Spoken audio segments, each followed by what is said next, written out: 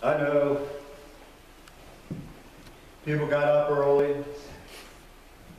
went over yonder and got your bellies full. Makes you feel a little tired and, and drowsy and that sort of thing. Hard to stay awake, ain't Brad?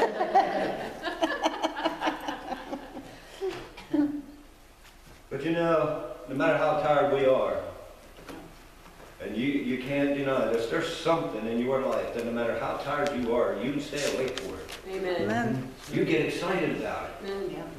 I'm going to tell you something, the Word of God is exciting. Amen. Amen. If you'll let it speak to you, if you'll let it get down into your heart, it's an exciting thing. Mm-hmm. I may not be. I might be boring as all get out. Mm. But don't listen to me, listen to the voice of the right. Spirit that comes through the Word of God. Right. Let that speak to you, and that's something that, that will give you a fire. Uh, you can feel it in your hands, and you can feel it in your feet, and you can feel it all over you.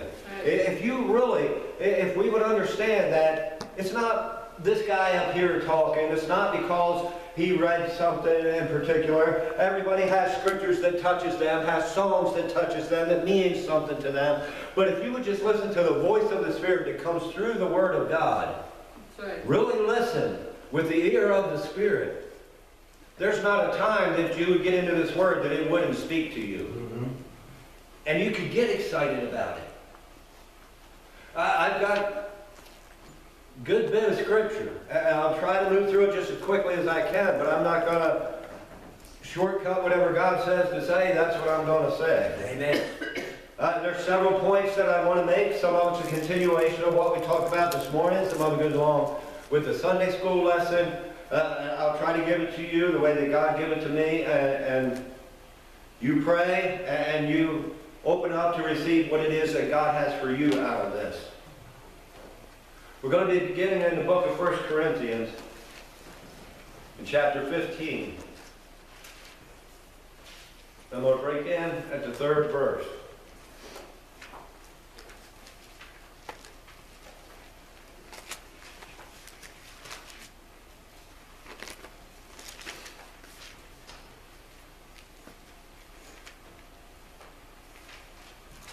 First Corinthians 15, verse 3. For I delivered unto you first of all that which I also received, how that Christ died for our sins, according to the Scriptures, and that he was buried, and that he rose again the third day, according to the Scriptures. That's what we've been talking about all morning. That's what this, this day is that we as children of God uh, uh, celebrate and, and what it's supposed to all be about, that Christ died for our sins and that he was buried, and that he rose again on the third day. That's what this whole thing is about that we've been talking about here this morning and what this day is for. Now I want to jump down to verse 12. Now if Christ be preached that he rose from the dead, how say some among you that there is no resurrection of the dead? But if there be no resurrection of the dead, then is Christ not risen? And if Christ be not risen, then is our preaching vain, and your faith is also vain. Yea, and we are found false witnesses of God, because we have testified of God that he raised up Christ, whom he raised not up, if so be that the dead rise not. For if the dead rise not, then is Christ not raised. And if Christ be not raised, your faith is vain, ye are yet in your sins. And I'm going to stop there and back up. That's what I was talking about this morning a little bit before we went to breakfast. That unless there was a resurrection, we have no hope. Unless Christ is raised, we have no hope. If, if you cannot believe, if you cannot accept, if it's not a 100% thing with you that this thing happened, then your, your belief is in vain. Your faith is in vain. Uh, you are still in your sins. You don't have this hope. You don't have this guarantee. You don't have this inheritance that we talked about. He said, if Christ be not raised, your faith is vain. You are yet in your sins. And in Romans 4.25 says that he was raised for our justification. We can't be justified. We can't have that, uh, that promise. We can't have our sins forgiven unless Christ is raised. And this is so crucial to what I'm going to get on to. You must understand and you must believe that everything that you are as a child of God hinges on the resurrection. There were other parts that were necessary and that were needful that had to be done. But the hinge pin is the resurrection. I read it to you here. If he didn't raise, you're in sin. We are justified by his resurrection. And unless we're justified, we cannot see heaven. We cannot have that eternal home. None of this matters if we can't accept the resurrection. that's first and foremost. And if that's the case, going on here, then they also which are fallen asleep in Christ are perished. If in this life only we have hope in Christ, we are of all men most miserable. Now listen, what is the scariest thing to men. It's death. Death is the scariest thing. Uh, you can go back and you can even read in a lot of Solomon's writing. Enjoy the labor of your hands. Eat, drink, and be merry, because eventually you're just going to die. There was a very well-known Greek saying, eat, drink, and be merry, for tomorrow we die. Uh, all throughout history you can find, get what you can get now, enjoy what you can enjoy now, because you're just going to die. Death is a scary thing. People did everything they could. Uh, uh, it sounds foolish when you stop and think about it, but there were actually people who believed there was a fountain of youth and did everything they could do to find that fountain of youth so that they could live forever. You can turn on your TV today. I was watching it yesterday. You can get creams and ointments and lotions to make you look younger. Uh, you can take these vitamins. You can have this done and you can have that done and it'll make you look and feel younger and you'll get a couple more years out of this old body and you can they're trying everything in order to live forever. And why is that? Because death is a scary thing. It's not scary to a child of God now. Right. But listen, before, before the resurrection, there was no hope. There was no hope as far as they knew. I'm going to die. I'm going to become worm food. I don't know what's on the other side. Am I going to be trapped in an abyss somewhere? And what's going to happen? I don't know. But it's a very scary thing to step out there into that unknown. If in this life only we have hope, we are of all men most miserable. All these people who use the creams and the ointments and the lotions and look for the fountain of youth and try to come up with this and try to come up with that in order, and they're still trying to do it. They're eventually talking about building a robot where they can take you and put it in that robot so that you can be eternal. I got news for them, it ain't going to work. But that's what we're about. Why? Because death is scary because they have no hope. If in this life only they have hope, that's where their hope lies. In the creams, in the ointments, in the fountain of youth, in building some kind of artificial intelligence and making me live forever. That's where their hope lies. And, and because of that, they are miserable. They are scared to death. That's why Paul says, if in this life only we have hope, we are of all men most miserable. And he goes on. But now is Christ risen from the dead and become the firstfruits of them that slept. For since by man came death, by man came also the resurrection of the dead. For as in Adam all die, even so in Christ shall all be made alive. But every man in his own order. Christ the firstfruits, afterward they that are Christ at his coming. Then cometh the end, when he shall have delivered up the kingdom to God even the Father, when he shall put down all rule and all authority and power, for he must reign till he hath put all enemies under his feet. The last enemy that shall be destroyed is death. In the natural sense, unless Christ comes, we're all going to die. But death has already been defeated. But there is coming a day when he's going to put death down for the final and the last time, you know what the book of Revelation said. And death and hell were cast into the lake of fire. Those who don't have Christ, they're going to die forever. They're never going to cease dying. They're never going to quit dying. But death will finally be 100% annihilated from existence, from the uh, influence, from any kind of impression on the child of God. Christ is going to put everything under his feet. He's got authority over it all. And it's coming down to that day when we don't have, uh, even, even Christians, you got to admit, there's a little bit of trepidation about death. because it's unknown. You haven't been there. Nobody went there and come back and told you what it was like.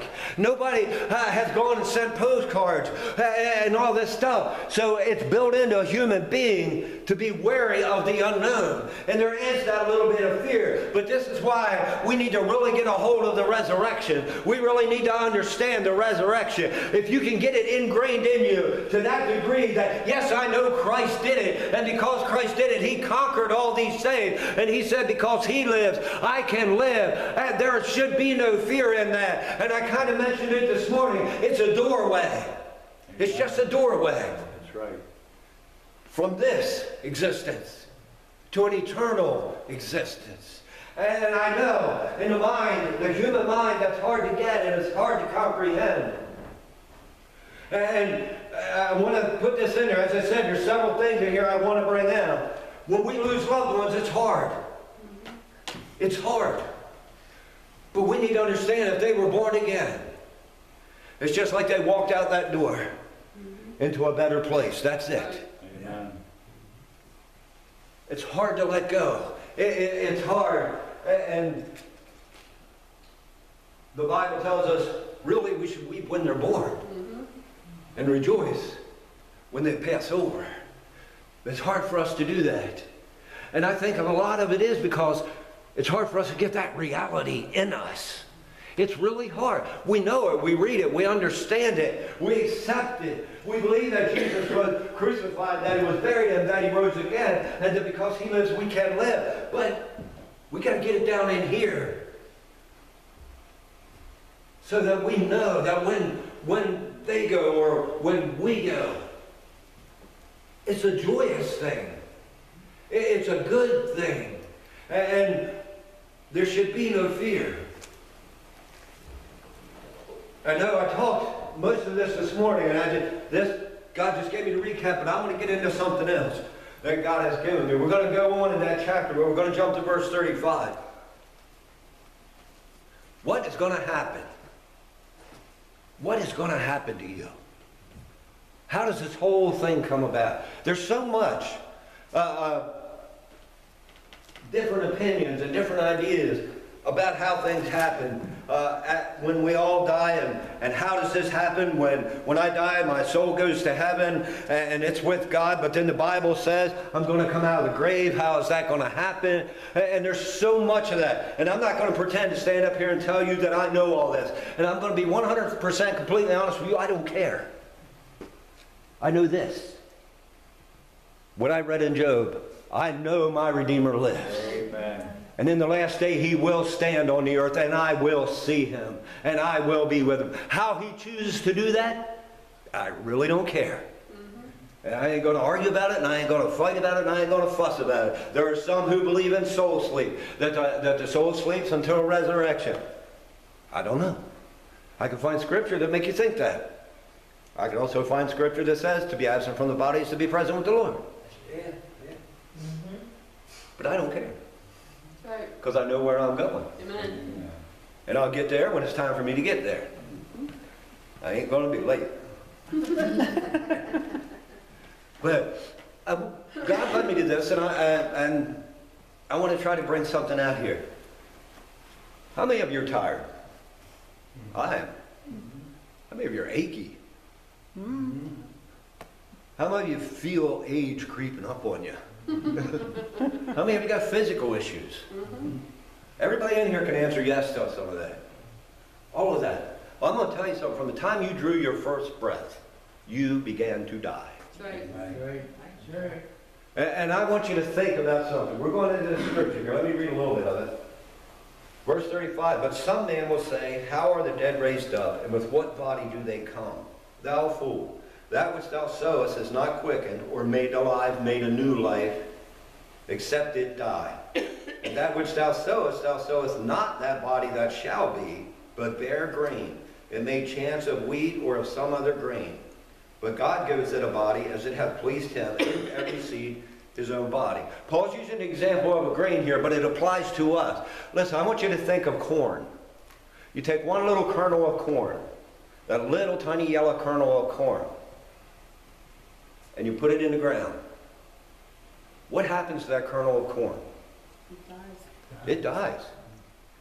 But what comes from it? A brand new creation. Mm-hmm. Nothing like that thing. It's tall and it's green and it's vibrant. And on it, there's coming out more corn. Not just one kernel, but two or three cobs with lots of kernels on each cob. It has been complete. There is a semblance of what was planted. There is a, a part of that there, but besides that, there's something brand new, something entirely different. And that's what Paul's saying here. He said, that which thou sowest is not quickened or made alive, uh, brought forth new life, except it die. We're a seed, basically. Inside that kernel of corn is something that I can't explain. And some scientists or biologists or agriculturalists or something might think they can, but I don't think they can explain. How did God stuff that whole great big corn plant with all them cobs on it? How did he stuff it in that little thing? You can't explain that. Now listen, he's using grain for an example. How much greater is that stalk and all that than that little grain? How much greater is what you're going to be right. compared to what you are? We're going to lay this down. And we're on that journey. That, that kernel that we planted. Now let's go back. There, here's the stalk. Uh, it's come up and it's got all these cobs on it. It's got these kernels on it. But let's start from the beginning. It starts out very small. Just like you started out as a baby. But it grows and it grows and it grows. And eventually it gets big and it brings forth those cobs and it brings forth those kernels. And when those cobs come out with the kernels on them, at first they're little and they're green and they're soft. And slowly they get bigger and a little harder and bigger and a little harder. And eventually they start drying out. And eventually the whole thing starts to turn brown. That's what's happening to us. We started out young and vibrant and full of life and strong, and we grow and, and we produce to an extent things in this life, but eventually we start to dry out. We start to turn brown and, and we start to get, you know, just like that corn does. And we become like that kernel. That kernel eventually becomes real dry and real hard. Mm-hmm. And that's when it's ready to be planted. That's when it's ready to go into the ground. Because then it has reached the point of full maturity. It's done what it needs to do in order to be ready to be planted, so that however God stuffed all that stuff in there, He can get it back out. That's how we are. God brings us to a point where we're ready to be as the grain is, as Paul says here, to be sown. And then uh, we will bring forth that that God wants for us. He says, But God giveth it a body as it has pleased him, and to every seed his own body. God has something in particular for each and every one. Oh, On that resurrection morning, when that new body comes forth, and however, whatever it happens, I do believe it comes out of the ground. Because the Bible tells us that the dead in Christ shall rise. So I do believe however God does it, it comes out of the ground. Whether he sends your soul back and puts it in there or your soul was sleeping or whatever happens, doesn't really matter to me. But I believe that it rises up just like that grain when it's planted. It rises up out of the ground and becomes that vibrant thing. That's what we're going to become. That's how it's going to be with us. And then he goes on here. Going to jump down to verse 40, 42. He's talking about the grain, and we go to 42. So is, so also is the resurrection of the dead. It is sown in corruption. It is raised in incorruption. It is sown in dishonor. It is raised in glory. It is sown in weakness. It is raised in power. It is sown a natural body. It is raised a spiritual body. Listen, this is what you got to look forward to. You're sown in corruption. What is corruption? It's decay.